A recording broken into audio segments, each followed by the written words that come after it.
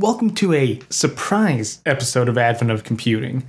If you're familiar with the show, then you should notice this is an off week, which traditionally around here only means one thing an interview.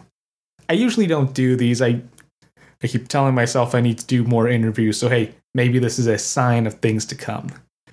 Anyway, last week I had the chance to sit down and talk with Aaron Reed, author of 50 Years of Text Games. It's a fantastic blog series and supposedly an upcoming book.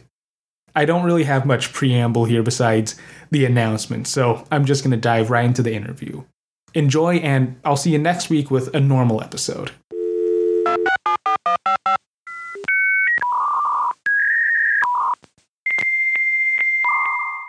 Well, I have with me here today Aaron Reed, who is the author of the 50 Years of Text Games blog, and he's currently working on another larger project. So, Aaron, why don't you go ahead and introduce yourself to my listeners? Hi, yeah, um, I'm Aaron A. Reed. I have been writing interactive fiction for probably almost 20 years now. Um, originally doing kind of uh, old school text adventure games, but then moving on to kind of more um, experimental stuff across um, augmented reality and just like all kinds of different fields. And yeah, lately I uh, have been working on this blog series that's being turned into a book about the history of computer games without graphics. It's kind of the one sentence pitch. So basically, taking one game from each of the last 50 years, uh, for, uh, starting in 1971 when the original text version of the Oregon Trail was released, um, picking one game each year and kind of diving into, you know, how it works, what's interesting about it, the story behind it. Um, and that's turned into a really cool and interesting project. Very good. So I I think we both share an interest in computer history to put it mildly. um, and you bring up a couple really good questions I want to talk to you about. So what's with your fascination with as you were saying games without graphics or text games or should we call it interactive fiction? Yeah, it goes by a number of different names, right? Um, text games is like the term I picked for this project because I feel like it's the it's kind of the broadest, right? Um, yeah i mean so for me i'm i'm a writer uh, like ever since i was a little kid i loved writing and also the the the notion of writing being interactive right being a, a, story that you're reading but you can also maybe change something about it you can it's asking you for your opinion about things uh, that was always really cool to me so um, when i was a kid in the 80s when the, our family got our first computer one of the games that it came with was adventure kind of the original like 1970s um, text adventure that kind of spawned it's that whole best. genre. Yeah. Um, so yeah, even though I was born technically too late to have experienced that when it first came out, I kind of got um, I started at the beginning essentially, right? Because that was the first, um, almost the first computer game of any kind I, I played. Um, and so that just kind of, uh, you know, sparked this lifelong fascination for that that whole genre. Um, and I think it's, um, it's just so interesting to me because you know writing like telling stories with words is like one of our oldest human things right we've been doing that um, in print for hundreds of years and verbally for thousands of years. And the idea of then combining that with all of the sort of new interesting stuff we're figuring out how to do with computers um, it's just such an interesting mixture of like old and new. Um, and i just love the kind of the, all the kinds of creativity that have happened at that intersection um, over the last you know five decades. It seems that adventure or Colossal Cave Adventure, right? That's the original name is also just a really good starting point, especially since it's been ported to like every platform. I remember yeah, in yeah. in high school, one of my friends showed me that he had an install of it on like his old iPod Touch, and he's like, "Oh, check this out." Yep. Yeah, it's been it's been ported probably to every pretty much every computer platform ever made, right? Well, it's such a simple program too. The actual back end of it. I mean, it is in Fortran, so it's not the most portable thing ostensibly. Right. but I, I guess that also brings up another good point. I'm I'm a little jealous of your medium, Aaron. Since I just do audio stuff, I, mm. I I do end up talking a lot about programming, and that's I have to limit myself because that's hard to get across on an audio medium, you know. Mm. So was that a consideration that was in your head when you chose to do a blog? Because I guess for people that haven't read any of your work on your 50 years of text games blog, you have code snippets that you explain for like, well, um, I think the Oregon Trail when you have one equation that I thought was cool for the difficulty curve for bandit encounters. Right, really right. Liked. Yeah, that was definitely a consideration. You know, like I thought, you know, yeah, maybe I should make this a podcast or a video series or something because, you know, that's where a lot more people are getting content these days. But um, but yeah, again, like as a writer, like that's sort of like what I'm inherently good at is is um, the written word. And yeah, the the chance to be able to do things like let's look at some source code, let's um, you know uh, look at you know there's there's I use a ton of um, interviews with authors, especially when around the time the game first came out, like what they were thinking when they were first writing it. And that's the kind of stuff where you know you're not going to have a video clip of it, you're not going to necessarily have audio, so um, it's uh, it's just a good way to get really in depth in the subject. Um, and yeah, the source code stuff in particular um, was something that was important to me to do in this project because um, I think it's a really like actually going to the source code and looking at it and saying, okay, how did this work? What was this doing? Um, it's such a good way of understanding something in a different kind of way than if it's a game if you're just playing it or if you're just running any kind of program. Um, I was kind of inspired by uh, a guy named Mark Marino, who's been behind a movement called software studies in academia, which is kind of that same idea of if you're going to write critically about software, um, you know, don't just use it, like look at how it works and understand on a deep level how it works. Um, not necessarily all of it, right? You don't have to look at every line of source code for a program to have an opinion on it. But if you can find if the source is available and you can find a little part that kind of illustrates something about what the programmer was thinking or the context in which it was made, you're sort of understanding it on a different level than if you're just looking at the surface. That's a really good point. I know I've I ran into a lot of um, source preservation projects that I think are really value, especially are really valuable, especially yeah, one that yeah. comes to mind in this context is Zork. All the original code for that, even though it's its own special language is preserved, which right. yeah. is really important to be able to have access to.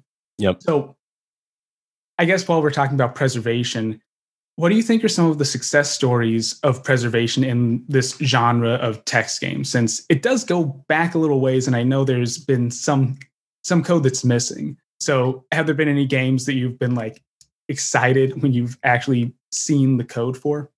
Yeah, it is. It is really interesting because, um, you know, like with any digital archival work, there's this sort of weird dichotomy of, on the one hand, it's like so easy to preserve data, right? You can copy it an infinite number of times without degrading the original, right? But on the other hand, if no one ever thought to do that preservation before it got lost, it's gone forever because it didn't leave behind any kind of physical imprint, right? So, so yeah, the, this history is just this weird mixture of stuff that's really well documented, um, and then stuff that's just gone and it's unclear if it's ever coming back. Um, so it's a success story, I think, is um, so I started writing this kind of stuff, um, doing those sort of text adventure style games.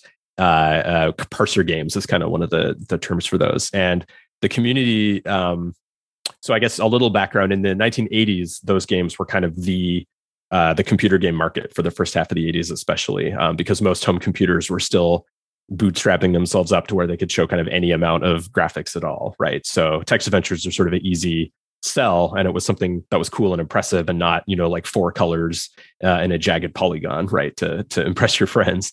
Um, uh, after uh, graphical games kind of took over and text adventures died commercially in the 1990s, there was a group of kind of hobbyists who came and reverse engineered a bunch of the commercial story formats and started making their own games in them. Um, and that kind of spawned this whole renaissance uh, and and really developed that medium into um, a kind of unique storytelling medium, moving beyond kind of what had been explored in a kind of a commercial context before.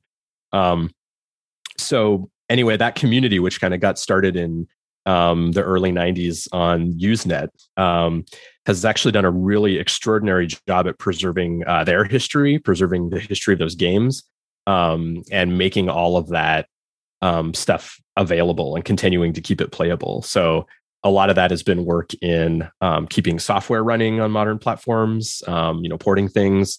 It's been work in you know setting up archives. So they have a thing called the IF Archive, Interactive Fiction Archive, that's been running since the early '90s, and it's just got thousands of files, um, everything from source code to games to um, you know records of discussions, um, and that stuff is just invaluable to understand the medium, um, but also to um, just kind of keep it keep a continuity going. And I, I, think there's a real difference in the kind of stuff that community has made um, compared to communities that just kind of have a shallower history and are only looking back at the last couple years um, of work um, because the stuff farther back is lost or inaccessible or whatever.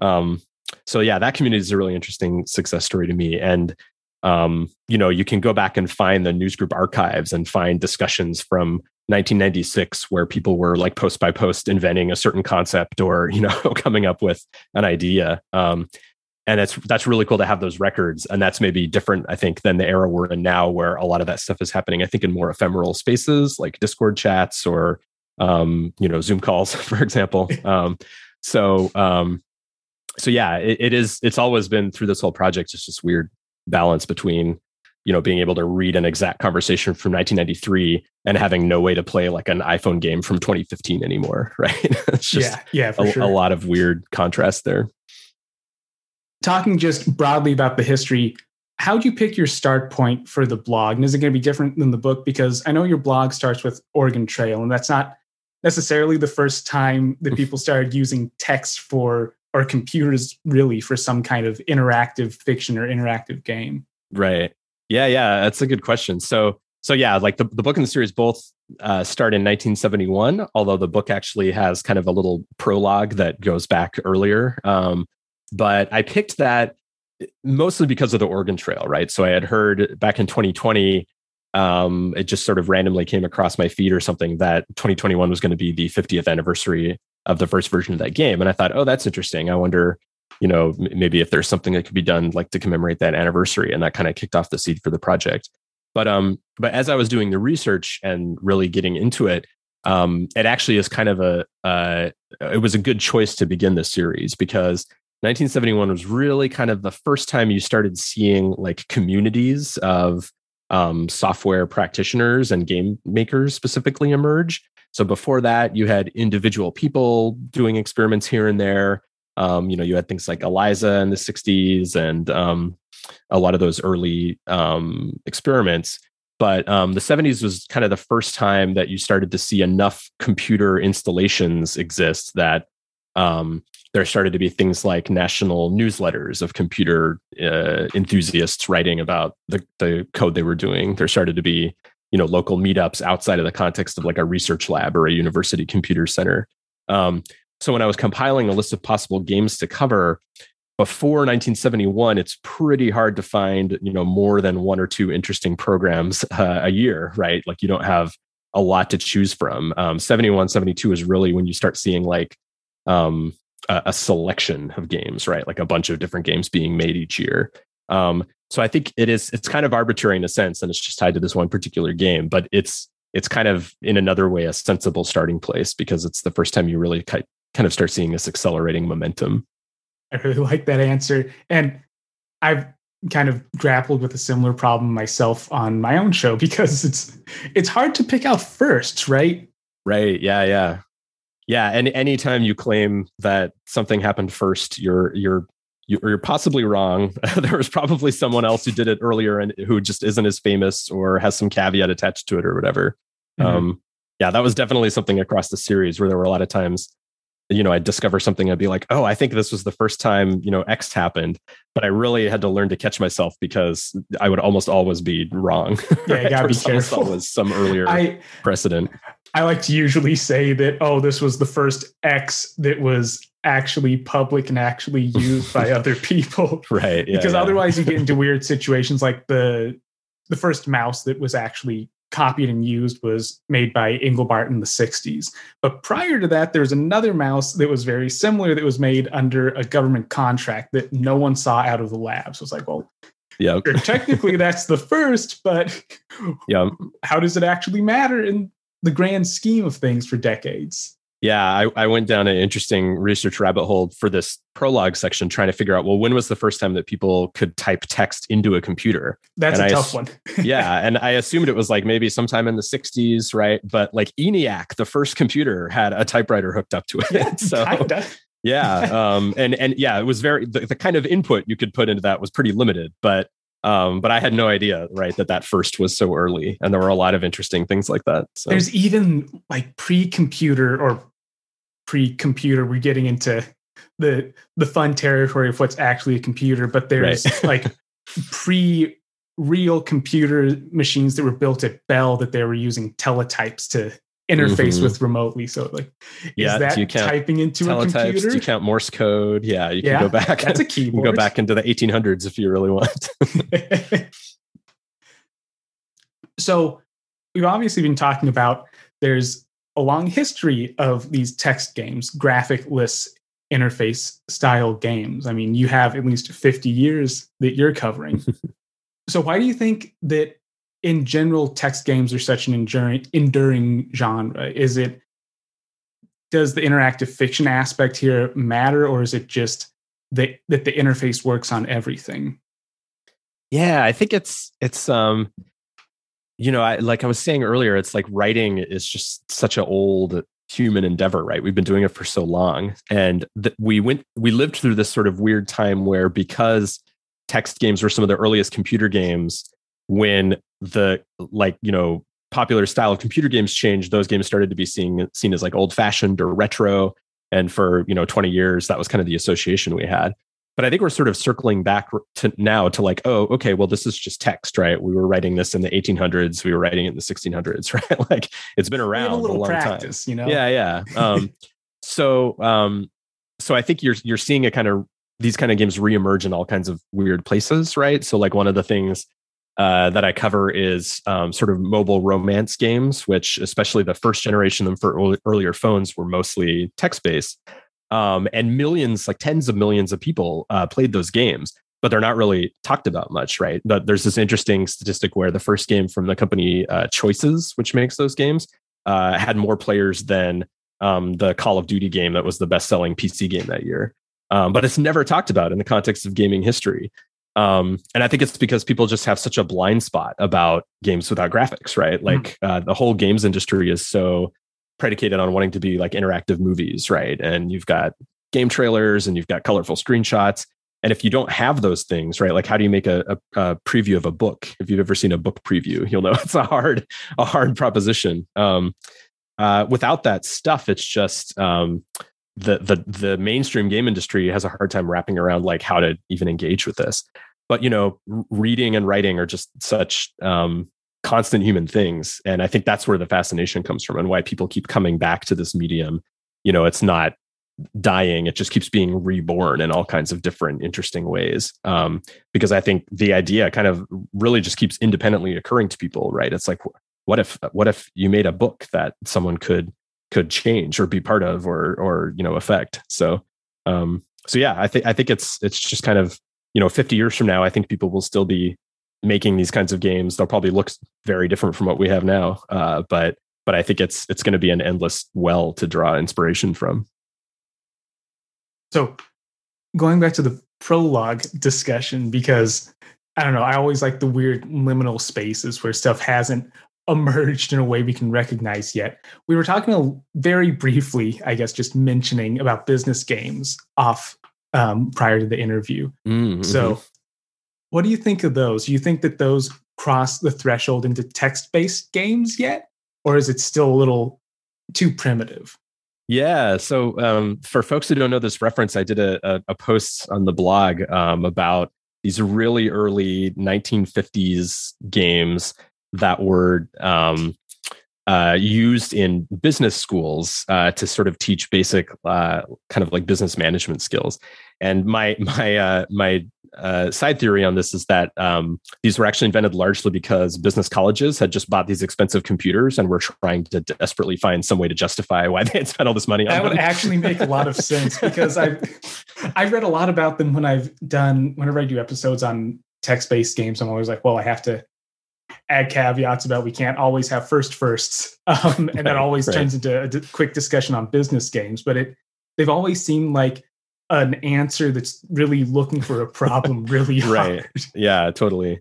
But yeah, so but the interesting thing about these, and yeah, that's right, because you had re-implemented one of these, right? For um yeah. for the yeah, yeah, that's really cool.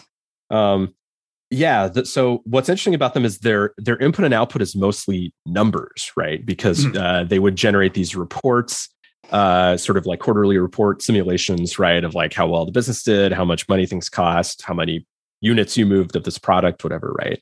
And then you would write back mostly in numbers too right? Because you'd say well i want to increase the marketing budget by 5% or i want to you know spend this much money on r&d next month or whatever. And it Um, had to be mediated with staff because right. they put them on punch cards. yeah yeah that was a whole interesting thing is nobody outside of a few specialists knew how to operate a computer. So most of these games were designed to have this kind of um, this layer between this human layer between the players and the computer. Um, so some of the early um, war games which were in design pretty similar to the, the business games um, had a role called like an umpire which was sort of the person who would like um, you know eh, take what the players wanted to do decide if they were within the rules of the game feed that into the computer right? Um, but also kind of like make decisions and adjudicate. Like they might say like oh well you know i've decided that that's impossible you can't do that because in real life you wouldn't be able to do that for reason x even though that's it's not part of the simulation right A dungeon master in a suit. yeah I it's guess. it's very similar um but that's that's really interesting because we don't think now of that being a role that you should need right like if you're playing a Mm. game you would just expect the computer's going to handle all the game stuff right um but in these in these early programs um i think a computer was still more seen as like an aspect of um an exercise like let's simulate running a business right? The computer can crunch some numbers but of course you're still going to need people to do things.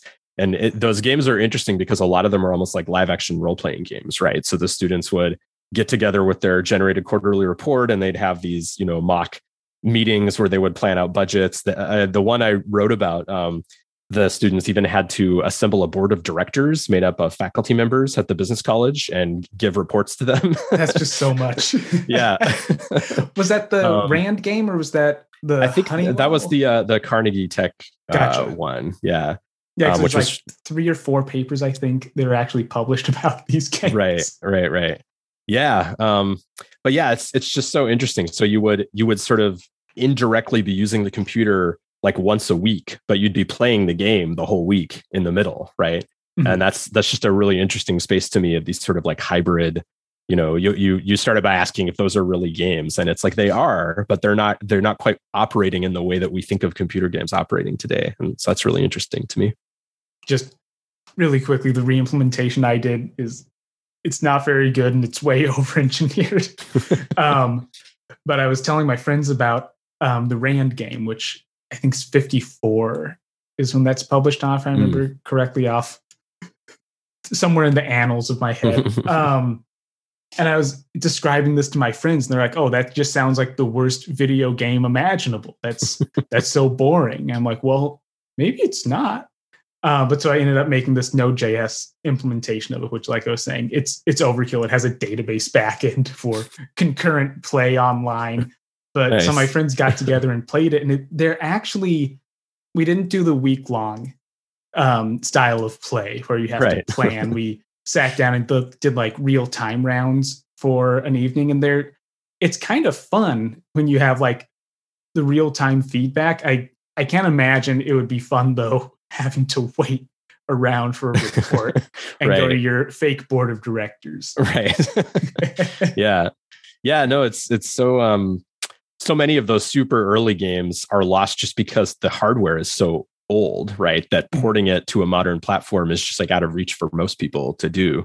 Um and and they were so obscure right that there wasn't like a an audience of people wanting to do that. So yeah a lot of those games are hard to play. So it's really cool to see you know people trying to make them run again give them Well, a, a new life the the other weird thing with old software and old hardware too, I guess, tangentially, is you run into a lot of interface problems, right? Mm, yeah So, like with business games, not everyone happens to have a a punch type machine sitting around in their office, which is a Right, crying yeah. shame.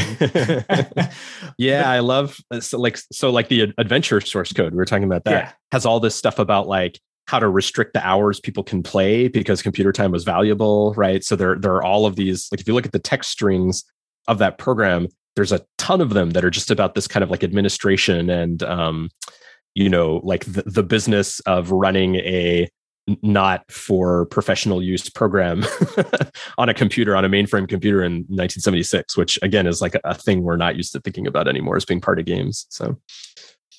So, I guess on that same topic, a lot of these early games were written explicitly for teletypes. So, do you think that that's how much of that DNA stuck around in text games, do you think? Or has that just been fully wiped away at this point? Yeah, that's something that I really try to engage with in this series is kind of like the the, the materiality and the physicality of what playing these games was like when they first came out. And that's everything from, you know, like what's it like to sit at a teletype and play the Oregon Trail in 1971 to, you know, what's it like to play a game for the iPad in 2014, right? Which in 50 years will be as weird to people as as thinking about teletypes is now, right? Um, that's the stuff that gets lost in emulation, right? So you can sort of like play an emulated version of a game, but where's the like what's the difference between you know being there at that time playing it um and so yeah teletypes you know obviously predated computers right? They were this existing technology for transmitting and printing text over distances. Um and um yeah there's a lot of interesting things uh for me that came about that came about from thinking of what it was like to play them. So so just one example is um the original Oregon Trail has um can operate the bell on the teletype, which was used um, for alerts sometimes, but also just for the like end of line carriage return, uh, familiar from typewriters. But if you look at um, certain events in that game, like if you're hunting and you successfully shoot um, a deer, um, you can see like the the ASCII code to ring the teletype interspersed um, through the string printing the the success message. Um, and the teletypes mostly in use at that time printed about 10 characters a second and the the frequency of that is about every 10 characters so you can imagine then what it would have sounded like to hear that. You would have heard this bell ringing about once a second. And that made me think oh i wonder if when he did that he was trying to emulate the sound of like midway carnival games right? When you win you get this like repeating bell right? And again that's the kind of thing that an emulator you don't necessarily get the exact timing of that the way that would have played out.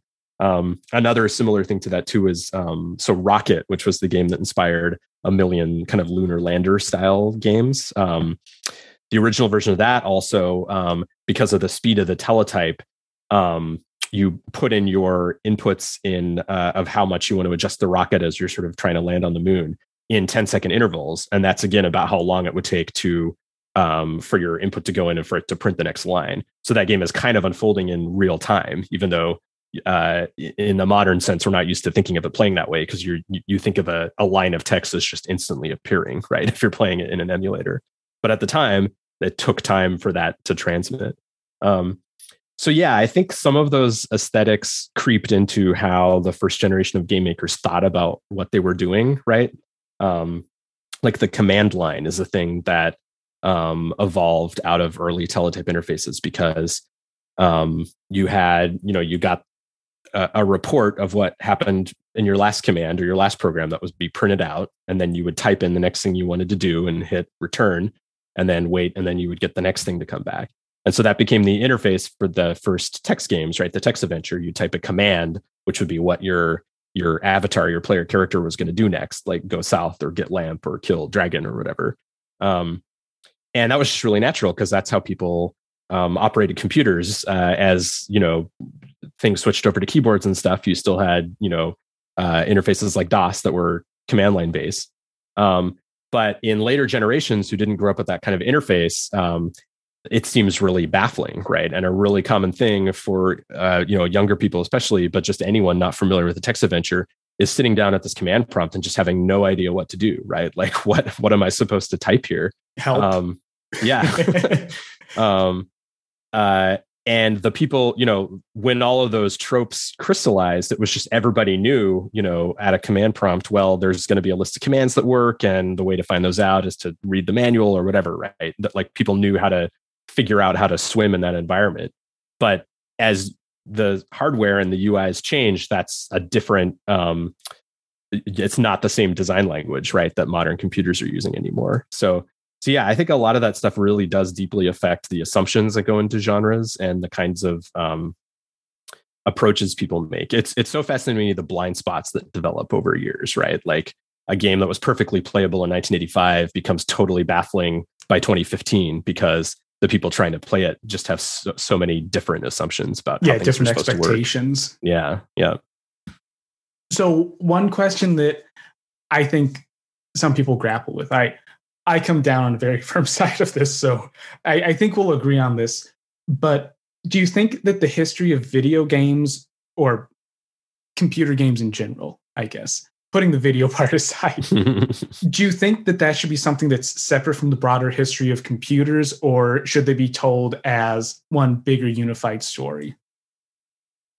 Yeah, one of the things that I thought was really fascinating as I was researching this project is um, just how kind of intertwined uh, the history of these games, and I suspect all video games are with the history of computing, right? Whether it's you know there's a new piece of hardware or a new software platform that somebody wants to try out and see what it can do, and then they make a really cool game with it. Um, whether it's you know the limitations of uh, a particular era or particular system causing someone to you know be creative to work around them um, that kind of creativity from constraint is such a huge thing um, almost every one of these games i ended up writing about um, the computers they were running on for one reason or another right? Um, and so if you if you read through this series it's impossible not to learn a ton about the history of uh, computing just because uh, they're kind of so intertwined. Um, so i don't think it's necessarily that they you know ideologically should or shouldn't be together. It's just they're they're they're interrelated at such a fundamental level right? Um and that's i think a place where this kind of writing is different than um novels right? Uh, or or other kinds of more traditional forms of writing because those have had a stable platform for quite a while now. They don't really release paper two very often right you know? yeah exactly. Um uh but people people making text games are constantly you know trying to figure out like what can i do in this platform? How can i get around its limitations? Uh, what what is the next platform going to offer me that no one could do before this? Um, so at least so far right for a half a century now um, it's it's been just kind of a fundamental part of the way these games are made and thought about. Um, so so yeah i, th- I think um, another angle on that too is that um, i know like in in at universities, right? Like computer game classes are sometimes used as kind of like a gateway drug to get students interested in just computer science generally, right? Um, so so it's definitely like a fun way to to start, you know, uh, learning this stuff and thinking about this stuff um, at the very least. Um, but yeah, it's it's it's it's very intertwined. I think it's it's uh, it's hard to talk about the history of these games without talking about the platforms they ran on. There's also a good well, not a good number. There are a lot of games that have pushed the technical envelope and actually helped with advancing computing. Zork, I know I keep mentioning Zork, but that's that's the code I'm probably most familiar with. Um, the stuff they were doing with their source code for portability is wild. Yeah, because they they developed a whole language, a bytecode, a virtual machine, and an implementation meta language for a text game that you don't really think of text games as being like insanely sophisticated pieces of software, but a lot of them are. Yeah. Yeah. And especially in the early years of, yeah, home computers, a lot of those games were really pushing the limits of what those computers were capable of doing. Because if you had a system that only had, you know, 12K of memory or, or, you know, was running on a cassette tape that could only load in, you know, a few thousand characters of, of data and text, um, you had to get really creative and you had to really push that hardware to its limits to figure out how am I going to fit a whole simulation of a cave system or a whole, you know, virtual world uh, in this tiny footprint. Um, uh, and I think that's, you know, it, it's maybe less visible, but that's continued in a lot of um, more recent games, uh, uh text games, you know, whether it's, um, you know, a game like Fallen London, uh, you know, really trying to figure out how to make a web based UI look um, professional and be easy to read um, in an era when a lot of websites were still pretty ugly, right? Or whether that's um, you know uh, games for mobile devices that are really um, you know trying to figure out how to uh, get the the the content they want delivered uh, in a way that's readable. So like uh, Lifeline, the game where you text the astronaut, was developed for the Apple Watch, which has you know like a tiny screen. So how do you tell a text based story when you can only fit you know 25 words on the screen uh, at a time right? Um, so yeah it's it's kind of still ongoing uh, in in a way. So to close out here i have one last big not a yes or no question. Um, how do you think learning about all this history of text games since you write if yourself how do you think learning about the history has impacted you? Is this going to change how you approach interactive fiction in the future? Yeah, that's an interesting question. Um, so yeah, like you know, my background originally was was making these games and writing about them, and then I kind of took a long detour through academia. I guess this this phase probably started with you know uh, writing a dissertation um, about interactive stories, which involved a lot of historical research. Um, and then a piece of that got spun off into a book I co-authored on the history of uh, graphic adventure games, uh, which is related to this work, but it's kind of its own thing. Um, and then now this project. So I've been I've been kind of in research and um, uh, history mode for five or six years now. Um, but yeah, I, I do think um, you know once I kind of do get back to making new games, um, it's going to be invaluable because um, you know I think something that's true in any medium is if you uh, if you look outside of the stuff people are doing in that particular medium or that particular subgenre of the medium, it's always enriching because you're just getting a broader perspective. You're pulling in, you know, different ways of seeing things and thinking about things. Um, and I think a lot of people, it's it's really natural and easy if you start making, you know, visual novels or roguelikes or or some little genre of games. You're only playing that kind of game. You're only talking to other people making that kind of game. But the more you can kind of broaden your horizons and expand what you're looking at to other domains, I think the more useful that is because your stuff is going to be less like what everyone else is doing. It's going to be um, more original. Um, so for me, you know, having come from writing parser style text adventures, that was the kind of subgenre of this whole field I was most familiar with. Um, but diving into so many weird parts of this history from play by mail games, which were big in the 80s, to um, you know BBS games, um, uh, hacking simulators. There's just all of these, you know, different ways people have tried to combine uh, text with um, code. Um, and I think when I start going back to think about making new stuff, um, I just have such a big well of inspiration to draw from now, right? Like there, there's um, there's a game from the 80s called Star Saga 1 that was a kind of space trading strategy game but with this heavy narrative component. But the narrative all existed in this huge printed um, book that came with the game. So it was like a multiplayer game for multiple people with the same computer. And every now and then the game would tell you, like, okay, you need to go read uh, text 1987 and then that would have like a bit of story in it and and the game was programmed with how all of these bits of story connected and what order they could go in and how they related to what you know how much money you had or what planet you were on or everything but the actual text was in the game, presumably because it couldn't all fit on the the size of discs yeah, that, that were around then. That's so interesting. That's kind of this is a side tangent, but one of my big areas of research in the foreground, I guess, also in the background, is hypertext and mm. alternative modes of hypertext, and that's that's just really sounds like they're trying to get at doing some kind of hypertext implementation with really limited features. Yeah, yeah. So so what's so cool about all those things and having all those things in my head is like maybe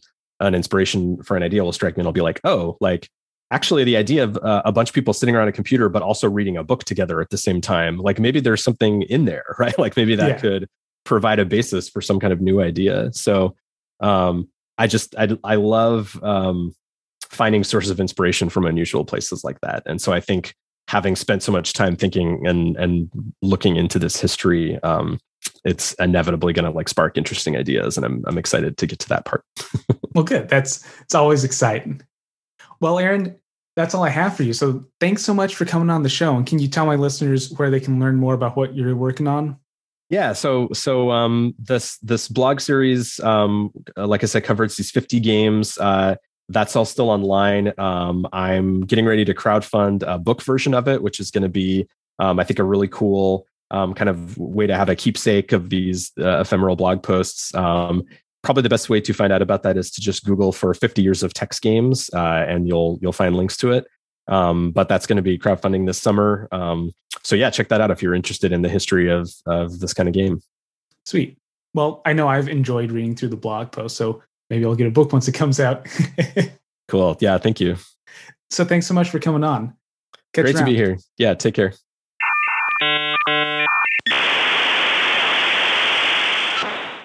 That's it for right now. So I guess all that's left is to thank you for listening to of Computing. I'll be back, like I said, next week with a normal full episode. If you like the show, then you probably know the drill by now. You can share the show with your friends, leave reviews on Apple Podcasts, and I think on Spotify now too.